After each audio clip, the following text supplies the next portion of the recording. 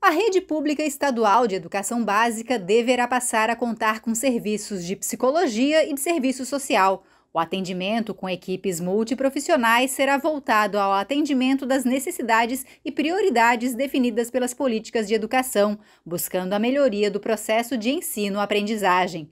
A proposta, apresentada pela deputada Paulinha, foi aprovada em plenário e agora segue para a sanção do governador do estado. Nunca foi tão necessária a presença e os cuidados é, das nossas crianças e jovens, especialmente depois de dois anos tão duros, é, com essa inflexão da pandemia, da forma como ela chegou, como agora.